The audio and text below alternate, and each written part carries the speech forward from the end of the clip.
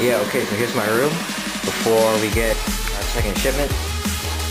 So, yeah, there's my bed. It's pretty empty now. No door.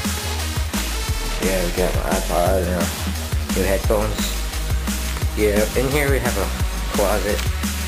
Pretty lame, I guess. Pretty big though. Know, when you look at it. Then we have got my Xbox and all that set up here. See, it's not that big. I'm sitting in the corner right now. So yeah, that's my room. This is the second biggest one.